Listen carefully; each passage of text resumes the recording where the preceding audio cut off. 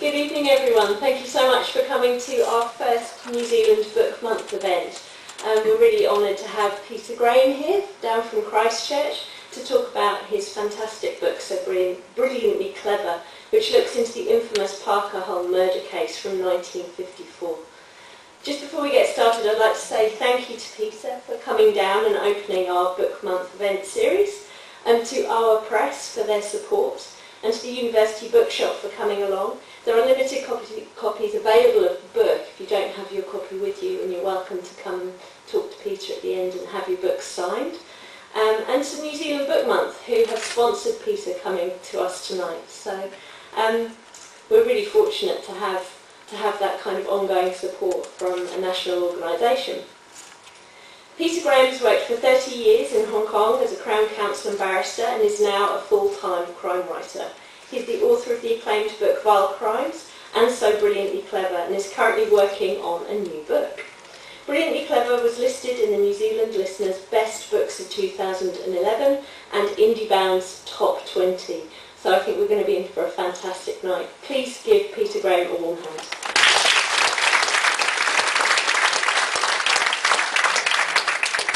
You, Lynette, for that introduction. I'm, I'm just um, amazed to see so many of you here, so thanks very much for, um, for coming. And I hope I'm going to be able to talk about the book um, in an intelligent sort of way. It's quite a long time since I've actually um, looked at it, and I've been, and it's true I have been working on something else, so my you know my thoughts are rather um, uh, overtaken by uh, an entirely different subject. So anyway, I, I, I, I, do know the details of the case um, pretty well. And what I'd like, I, would very much like it if you, if, if, if you have questions, um, you don't have to wait to the end or anything. You can just um, put your hand up or call out or whatever you want to do, and um, and I'll try and field your questions because I want to make sure that I'm um, talking about um, what you want to hear about, and and some of you will have read the book probably, and some of you uh, will not, and uh, will and, and, and when I've spoken at occasions like this around the place, there are usually um, lots of people who have lots of questions, some of them um, quite difficult ones for me to answer, but I, I always do my best. And, um, and, uh, and also, I mean, I must say, I've, um, I have, um, since the book was published, um, and I have spoken at a number of events in libraries and other places around the country. And, and I've actually um, gathered some interesting little pieces of information. I mean, amazingly interesting little details that people you know, stand up not so much with a question, but just to give me um, their own little part in this story. And, and, and that's pretty interesting. And I've written these things down and I've popped them in a file. And if ever there's going to be a um, you know, a second edition as such, then um, then there would be a few little bits and pieces that I um, uh, that I would add based on things that I've learned um, uh, speaking to um, to audiences uh, like this one. The, uh, this story does have um, an amazing fascination that um, that seems to endure, and and some of you. are I would say, are of an age where you would um, remember the events, reading about them in the papers and hearing parents and things talk about probably or, or not talk about it as the case may be. Um, it's a sort of a recurring theme from people of a certain age that uh, say, oh yes, I remember when that was 1954 and, um, you know, uh, they, the newspapers were hidden away and we weren't allowed to read the papers. And, and I think parents were generally very worried that if their, if their, if, um, if their um, teenage children started reading about these events, it might give them ideas and they, you know, they might start um, asking embarrassing questions about what a lesbian is and that sort of thing. Anyway, they just so that people just um, didn't want to talk about it. But this, but I mean, I suppose a lot of it is thanks to Peter Jackson's film um, uh, Heavenly Creatures. uh, a lot of international interest in this story, although um, really right from the word go, 1954 in Christchurch, um, when this um, strange murder hit the newspapers, it was immediately seen to be something of international interest and um, the, the, the, press from around the world came to Christchurch to report it and, and of course all the press agencies that were a major source of news in those days came to Christchurch and uh, I think in Christchurch, you know, in a strange sort of way, um, although it was although it was considered, it was deeply shocking. I mean, it was absolutely and utterly, astoundingly shocking. Uh, I think that, uh, at the same time there might have been a little bit of um, that sort of quiet pride we have in New Zealand when anybody um, notices us from other countries, so we're quite pleased that, um, that uh, you know, anybody should take an interest in what's going on in New Zealand. So there was a bit of that um, as well. So I'm not really um, starting at the beginning, but I think that most of you will know who the... I'm not sure I'm at the right angle. If I was around here a little bit better, I might be able to... How's that? And that just means I can keep an eye on both sides and see that you're not going to sleep or anything like that. Um, I think most of you will know the, um, the, the bare bones of the, of the story. This was a particularly brutal and bloody murder that took place in Victoria Park in Christchurch in June of 1954. Uh, there were two teenage girls, one uh, who was called Pauline Rieper, or Pauline Parker, as she sort of later became known.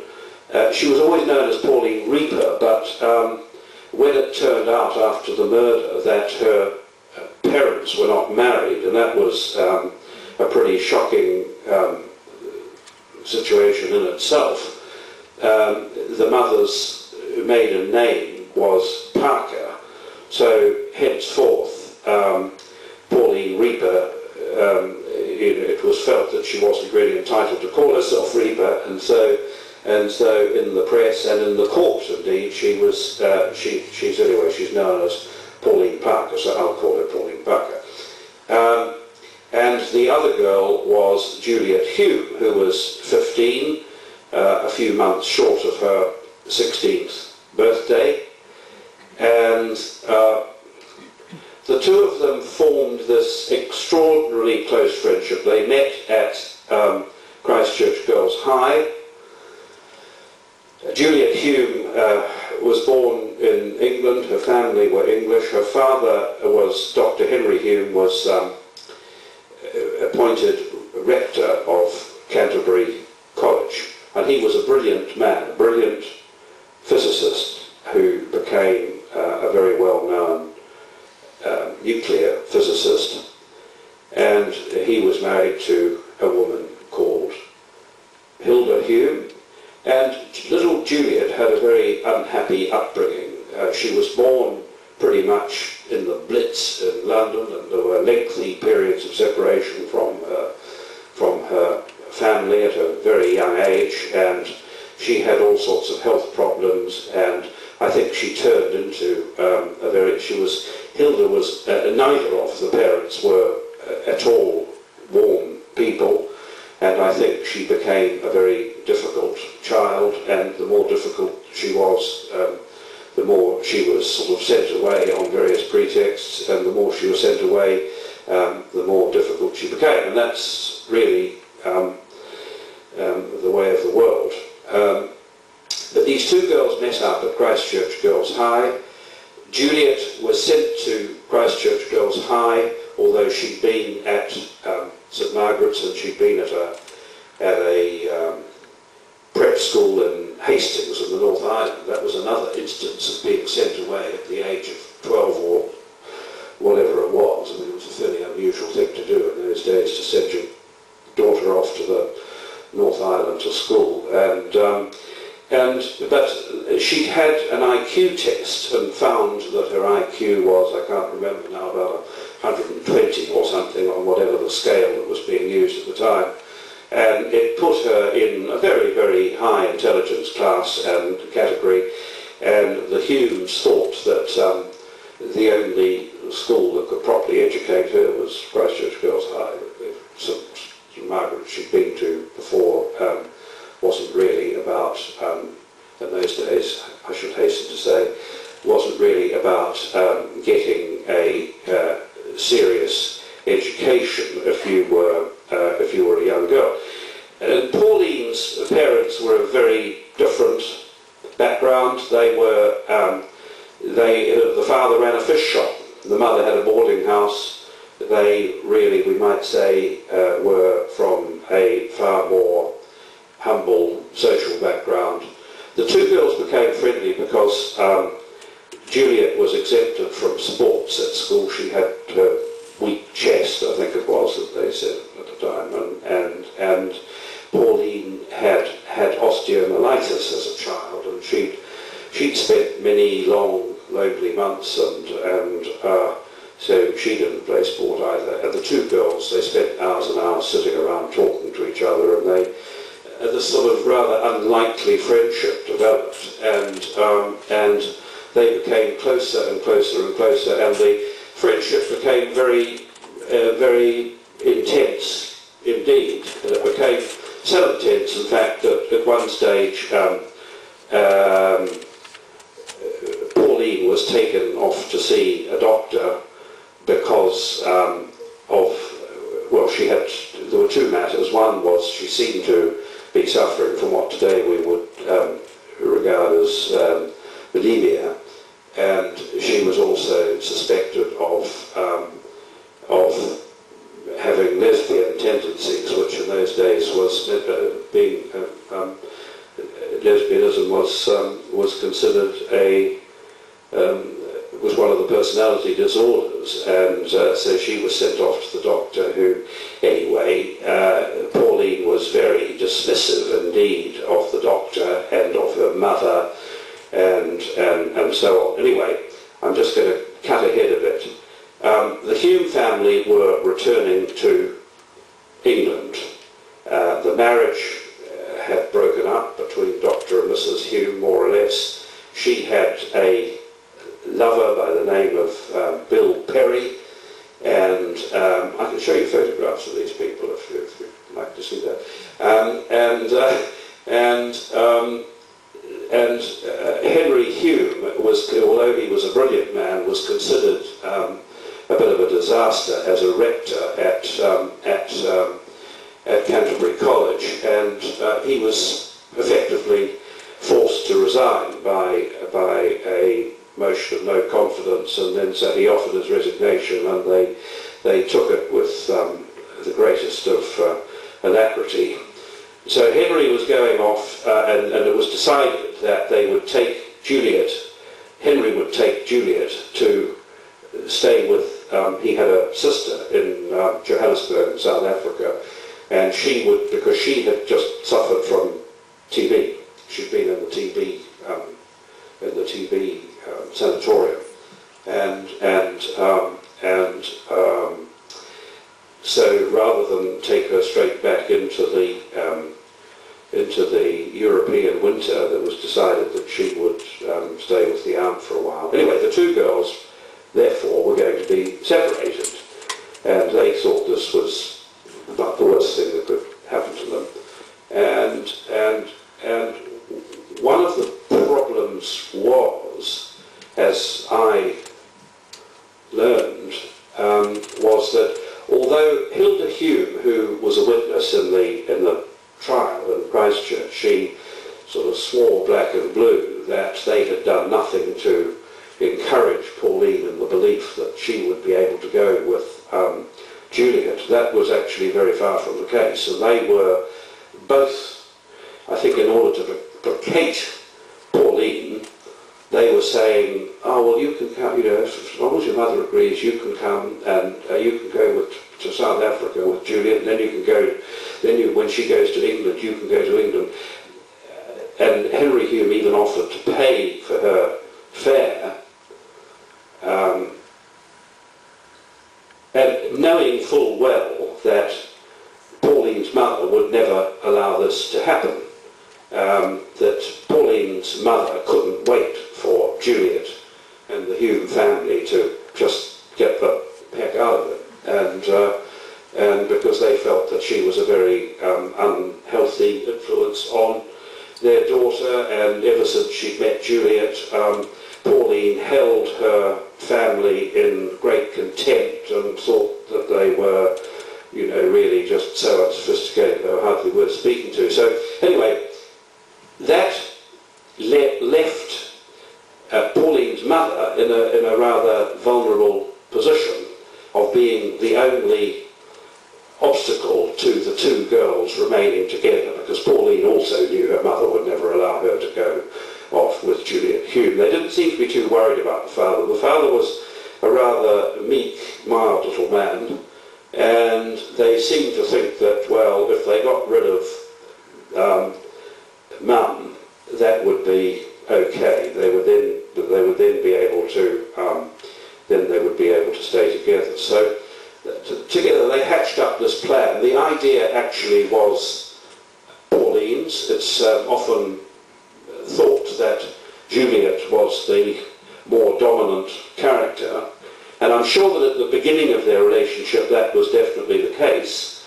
Uh, she was the one with all the ideas, and uh, Pauline was really the, um, you know, the acolyte who hung on her every word. But I think as the as their relationship developed, Pauline really became um, a, a, a, co-partner, and the idea to um, kill Pauline's mother definitely came from Pauline. And of course, one of the things that makes this book interesting and made it interesting for me to write was that um, that the girls kept um, diaries.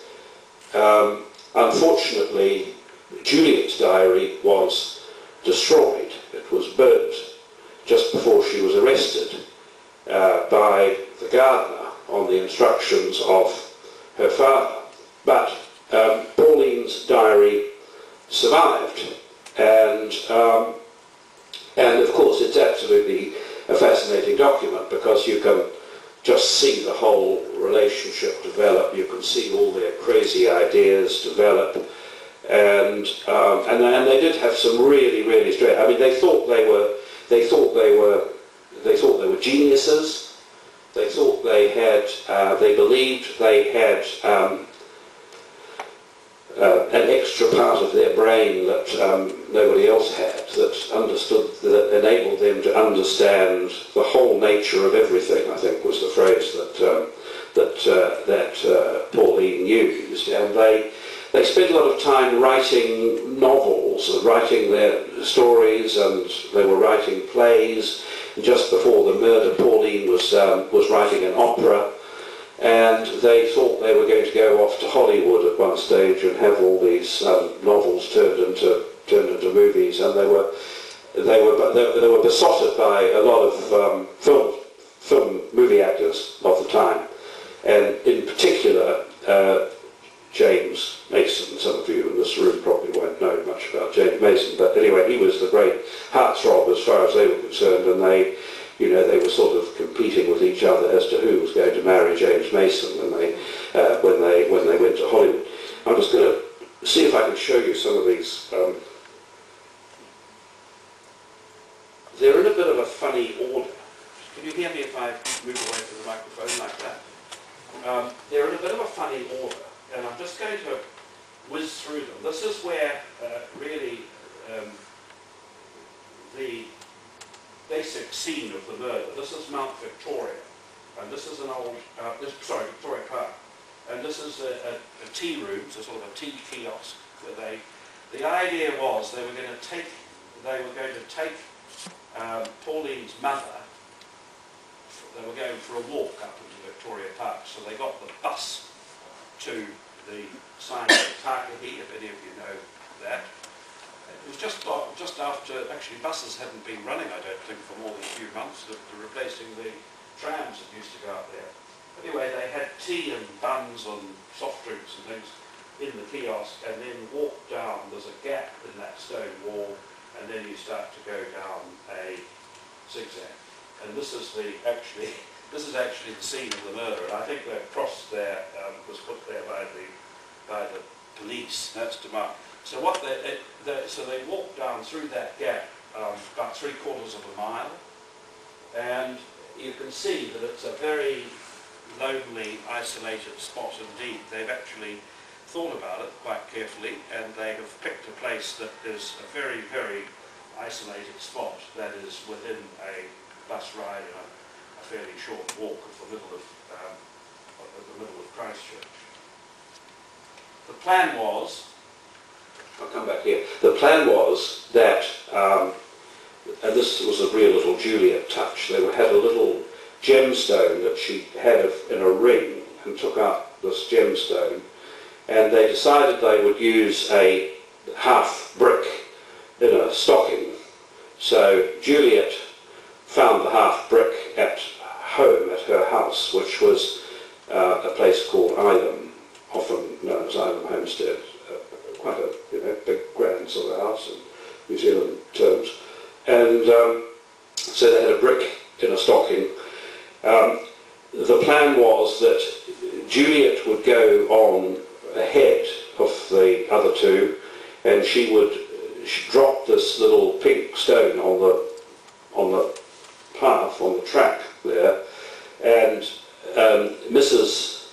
Parker, Pauline's mother, would bend. She'd say, "Oh look, look, look, look on the track down there. There's a stone." Mrs. Parker then sort of bent down to have a look at it, and um, Pauline came up behind her, swinging the um, half brick and the stocking, and really let her have it, um, uh, belting her in the head. But it, it, they thought that it would be much easier than it was. They thought it was like um, they thought it was just like the movies where you know you give someone a decent whack on the head and they fall over dead, and that's that. And they thought they could just hit her once and she'd fall down dead, and then they could roll her down the bank, and um, it would look like an accident. It would look as if she just um, tripped over and um, and and and bumped her head. And it wasn't like that. She wouldn't go down. She would. She stayed on her feet, and they had to keep hitting her, and they eventually forced her down um, uh, onto the ground. And I think Juliet held her by the throat, head up, while Pauline was just bashing and bashing and bashing until eventually she died, and there was blood all over the place, and it was a, it was a, just a horrible, horrible mess. And then they ran back up to that kiosk you saw in the photograph, and uh, and then started yelling and screaming to the caretaker's wife that there'd been there'd been an accident, there'd been this terrible accident that um, that Pauline's mother had fallen over and uh, and and uh, she was seriously hurt. So I mean the idea um, just wasn't one that really was very likely to work.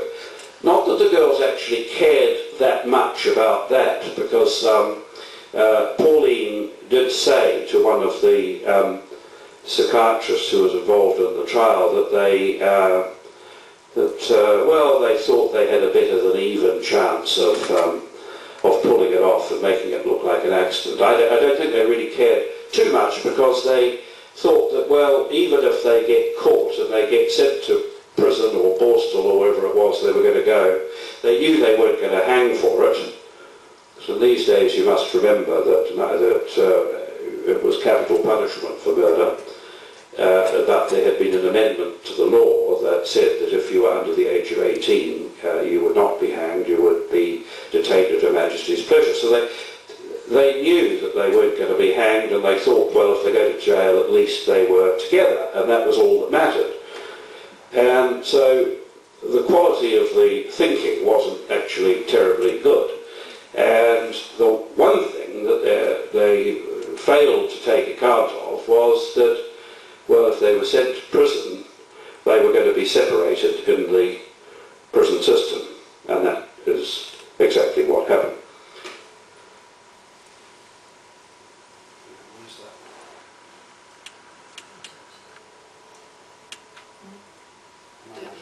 Oh, do I have to go there? No?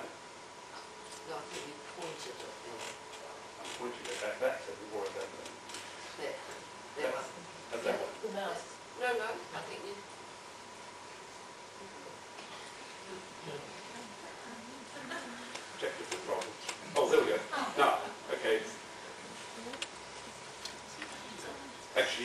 this photograph here. This is this was um, yeah okay.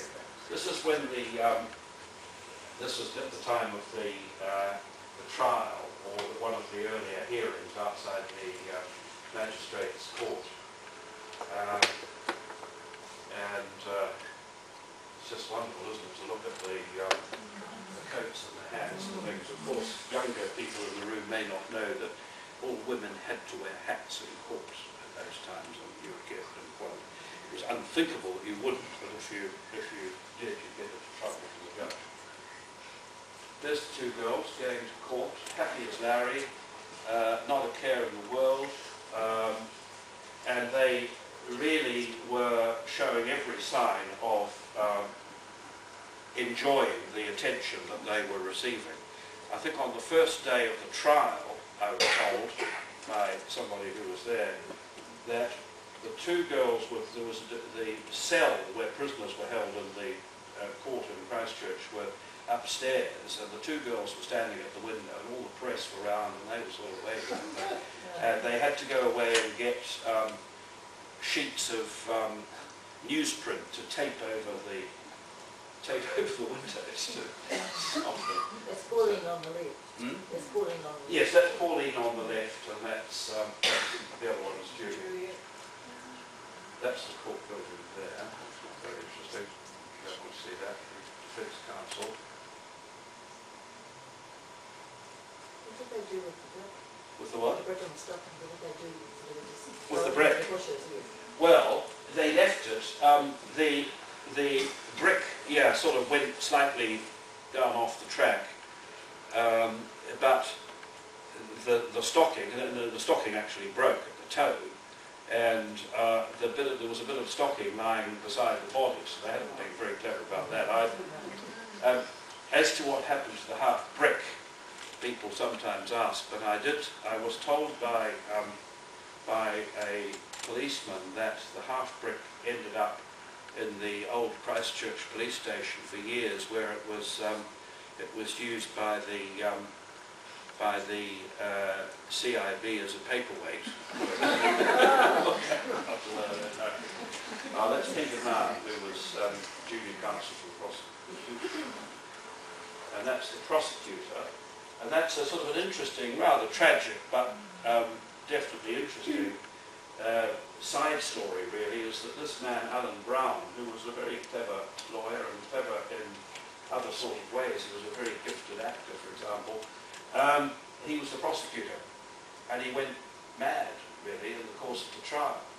He had a serious drinking problem, apparently he was just sort of, well, as one of the lawyers said, filling up with grog the whole time throughout the trial.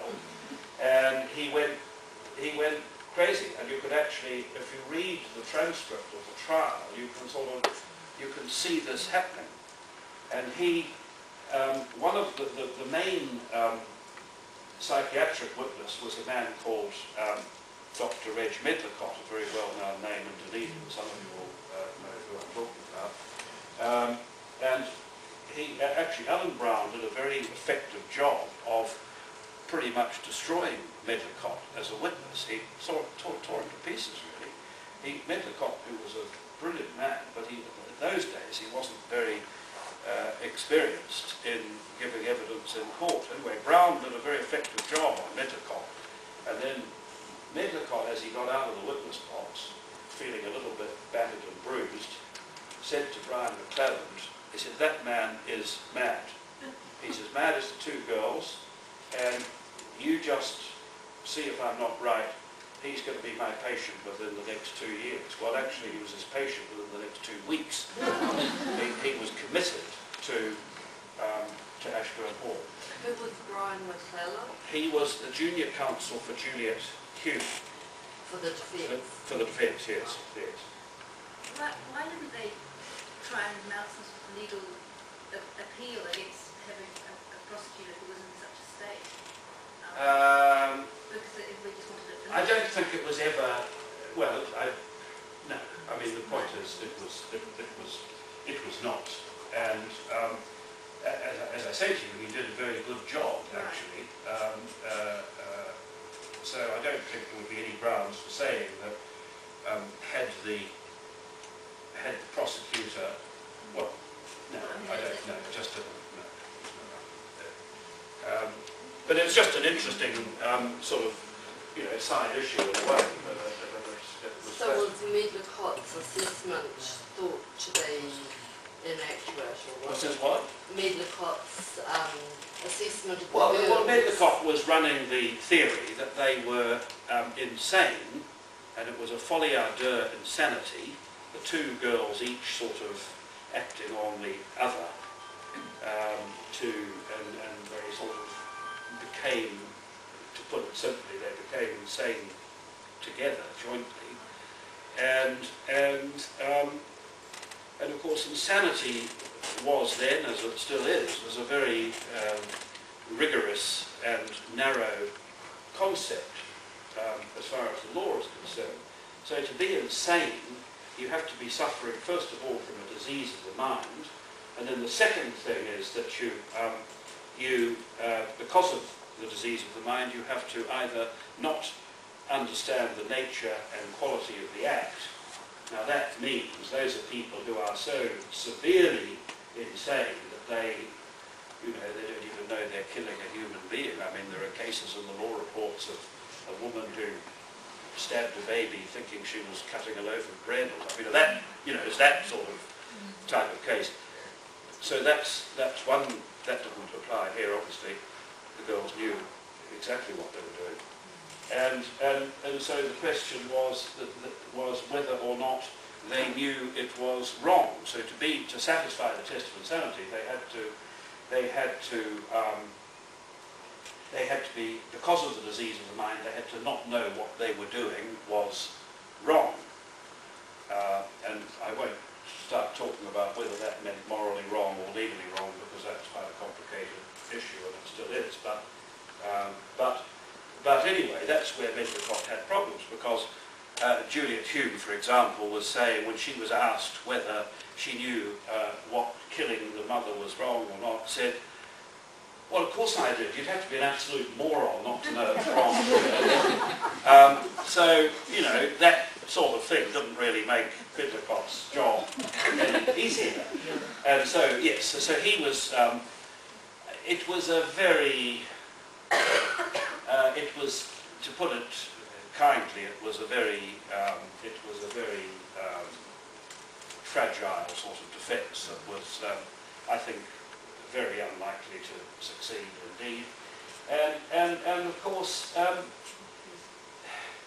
they must have encountered quite a lot of hostility from the jury. I mean, their jury just um, hated them. You know, they, he, the, the idea that these teenage girls, the jury were all men in those days, and they, you know, they were they were they were tradesmen and they were people like that. You know, they weren't probably the most sophisticated people on earth, but not that that would have made very much difference. I mean, the community was um, really uh, revolted by what had happened, and and um, I think it was, you know, The police have confiscated Pauline's diary, so the intent was all outlined in that, wasn't it? Yes, it was. That's quite right. That, that there was no doubt. Uh, there was no doubt about the intent. It was premeditated. It was planned.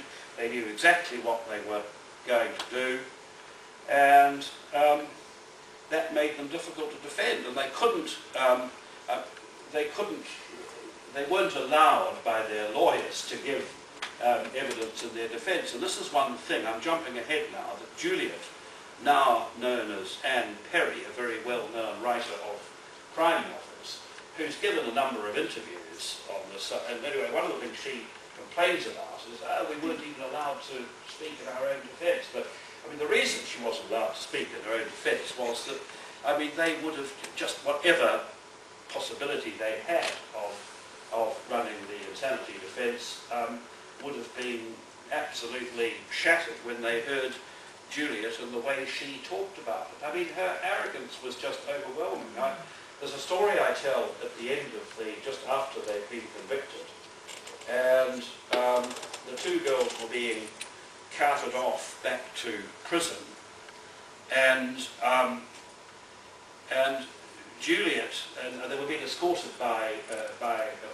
by a policewoman, a woman police constable, And just as a bit of a kind of a wind-up, uh, Juliet was whispering in a loud, loud sort of stage whisper, ah, the old girl took a bit more killing than, uh, than we thought. Uh, and yeah, who would have thought, anyway, and, and this police uh, woman said, Juliet, that's a dreadful thing to say. That is a terrible way to speak about uh, Pauline's mother. at her." And uh, Juliet uh, turned to her and said, oh, aren't we the perfect little policewoman? I mean, that's what she was like. Oh, she was absolutely terrible. And, um, and um, There was a total disconnect of morality. yeah, yes, there was, yeah. So that, this is Pauline, Juliet's mother, and Bill Perry, the lover, Brian McClelland, Henry Hulme, father, the mother again. Um, and this, is ano- this is after they've just heard the verdict, and uh, the daughter's been, I mean, it's a great photograph of, uh, of capturing the, um, you know, just that look of utter despair, isn't it, on the, on the mother's face, and that's when they're leaving New Zealand. This is now, this is, this is Juliet um, today, now known as Anne Perry. She sold 25 million books when I last heard, probably more than that now. but, um, but anyway, so she's been very successful, and that's Pauline. Pauline ended up as a, um, well, she went to, um, she went to library school. Lynette, you were just saying how, what nice people librarians all were. so she went to library school and she um, and changed. They both both girls changed their names, um, uh, or they were given a change of name after they were released from prison. They were they, they both spent um, about five years in prison, and so they were released when they were well they were both 21 when they were released, and uh, and uh, Juliet was uh, shipped out of the country and and um, and Pauline went to library school in Wellington. She was called Hilary Nathan, and then she sort of disappeared. But she ended up. She was living. She worked at the Auckland University Library for a while, and then she worked at the library in London, and then um, she ended up as the assistant um, headmistress at a um, special needs school in Kent, in England. And that's what, and I think then she retired, she disappeared for years, and then uh, a very a sort of astute New Zealand journalist tracked her down and found her, and this is the time he found her living, living in this house, um, little cottage in Kent. That's the film version. Now actually, just on that subject, backwards doesn't seem to work very well. Um, but it, uh, you know, a lot of. I mean, I've spoken to um, quite a quite a number of women who. Um, thank you. Uh, a number of women who were in the, these girls' class at um, at Girls' High. They're now aged about 73, I think. And you just succeeded in turning off. And, um, and anyway, they just talking about this um, film, Heavenly Creatures. They, the general verdict is that um, that uh, Kate Winslet, who played Juliet, has really, you know, played the part very well. Looked, you know, looked pretty, pretty good. And the, the girl who played Pauline was her name Melanie Lynskey, I think, if I remember correctly. Uh, they thought, well, she was actually a bit more you know, a bit more attractive looking than the, than the real life. Um, than the real life. Now, this house, this is, this is interesting. What was interesting to me, and it might be interesting to you, that, um, that the house that, that Pauline, I'll call her Pauline, she by then was Hilary Nathan, um, lived in, she was always a bit of a great painter. And that when she, as soon as she was found by the press, she decided to make herself scarce, and she decided to get out. And um, she actually went to live in Orkney, where she lives today. and it doesn't get, you know, you don't get much further away um, than that. Um, and uh, she wanted to get out in a hurry. There was somebody who had a contract to buy the house, and then she heard that they were about to show um, heavenly creatures on on TV in, in England, and she wanted to get out quickly, so she left. She left on the wall. This is a sort of a mural that she painted, and uh, we, you can look at some of them a bit more closely. It's quite fascinating, really. But this one, you see this one. Oh, now I'm going to see if this pointer works. Yeah, no, does it? Yes, it does. You see that one there? Now, this is an image, if you, you can't really see it close enough, but um, to my way of thinking, it's fairly obviously an image of, of Juliet.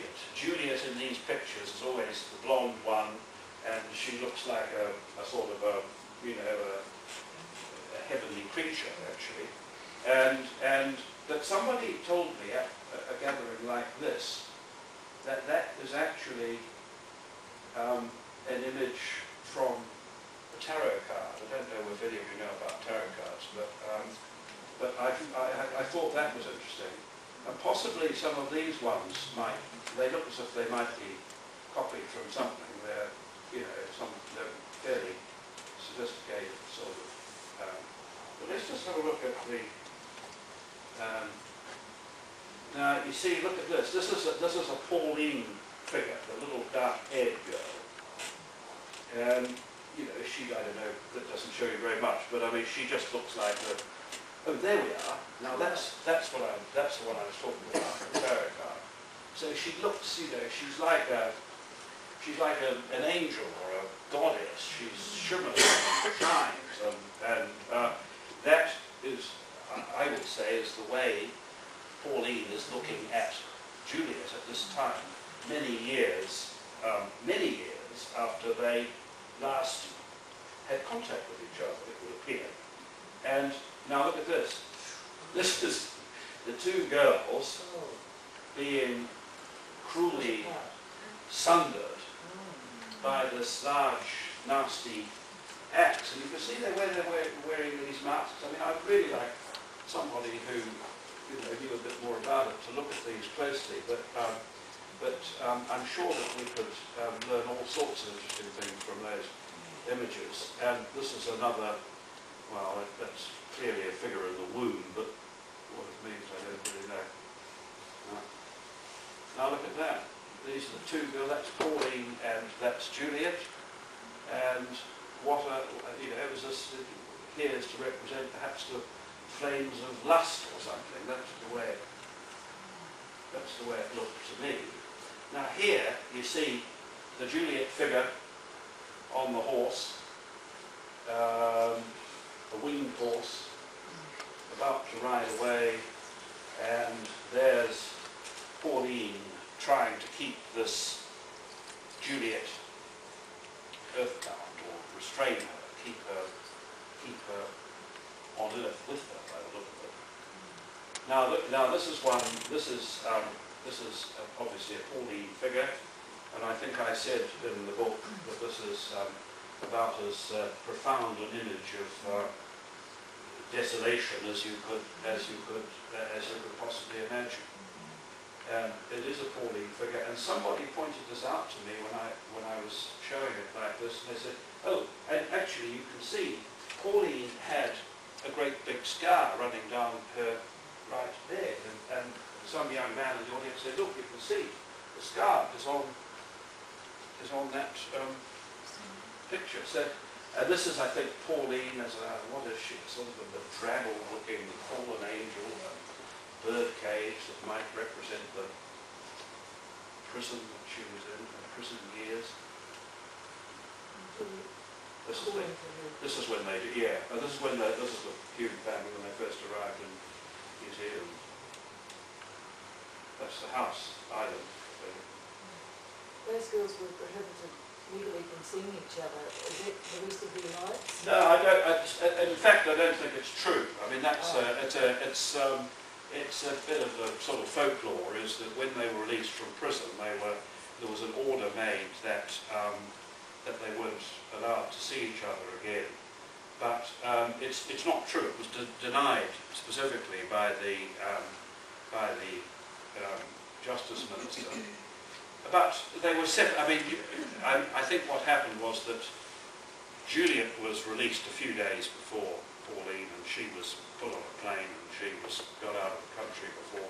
So I mean, in fact, they didn't really have a chance to see each other um, until some years had elapsed. And I mean, there's there's quite a lot of speculation about whether or not they have seen each other, because now Juliet lives in um, the Highlands of Scotland, Pauline's in the Orkney, they're only 100 miles away from each other, and so there's been quite a bit of discussion about whether or not they um, have seen each other or not. Um, I, I'm inclined to think not, although there are people who disagree with that. And um, somebody wrote a play, there's a playwright called Trevor Schmidt. He might be Canadian, I think. He wrote a play, the premise of which is the two meeting together in their sort of present age. But I don't think so. And I, it, it, I, my sort of um, thoughts on that, I think to some extent were confirmed by, uh, there's a New Zealand journalist, Chris Cook, who fairly recently contacted, um, contacted Anne Perry, otherwise known as Juliet, uh, and said to her, oh, have you, you know, you know Pauline's just doing a film, do you ever see each other? And she absolutely exploded, certainly not. Why on earth would I want to do that? This, is the way she, this is the way she talks. Um, oh, this, this, this is the girl that's, that's Pauline's father, as a young Oh, now that is not a, this is not a great photo, but um, this is to show, um, this is to show the, actually, the house that Pauline lived in is this one here. And we, that's, the, that's the closest we've been able to come. It's now demolished, so this is the closest we've actually been able to come to finding. But everybody says it's, it was very much sort of like this. It was like a big house and it was rather ramshackle. And, um, and uh, it was um, a board, you know, it was a boarding house where young sort of students and, and, and uh, that's that's that's Juliet at the age of 14 or thereabouts. Is. That's all. Hugh and this is Bill Perry. Now this is quite interesting. You see, when somebody mentioned the diary, and of course the diary was uh, an extremely uh, incriminating document. And the actual original of the diary no longer exists, but the police made a, made a typescript of the diary that was put in evidence, and uh, I managed to get a copy, and I had to, it was actually, it was, I had to make an application to the court to get a copy of this, to get access to the diary, so I, I was very fortunate that I was allowed, I mean, I just thought it would be a bit of a formality, but I have heard of other people subsequently who've applied and been refused. So uh, when I heard that, I thought, oh, well, you know, thank goodness that I managed to. But um, there were a few pages of the diary photographed by the police and shown to the court just to, you know, so the jury could actually see what they were like. But um, but this is, um, I think this is an absolute um, classic, this way. So this is the day of the murder. She's lying in bed in the morning, Pauline, writing the entry in her diary, and you can see the little heading she's given it, the day of the happy event. I'm writing a little of this up on the morning before the death.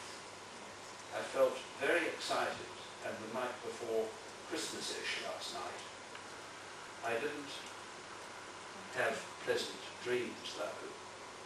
I am about to rise. So that's that. Um, but anyway, the, the, the, the, they didn't, you know, the diary was a, was a damning, was a damning document. And, and, you know, she made no attempt to hide it. It was just when the police found it, it was just sitting on a, on a sort of bedside table in her, um, in her bedroom.